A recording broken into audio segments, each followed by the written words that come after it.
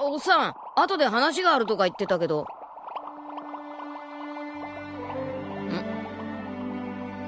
えー、海賊王の船に？ああ副船長をやっていた。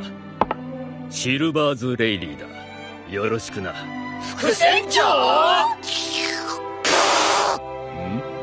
教えなかったの？はっちゃん。用があるのはコーティングだからな。あら気づいてなかったの？その名前めちゃめちゃ知ってる。いろんな本に載ってる。確かに誰でも一度は聞くんな。だゴールド・ロジャー？そういうルーキーが昔いたようないなかったような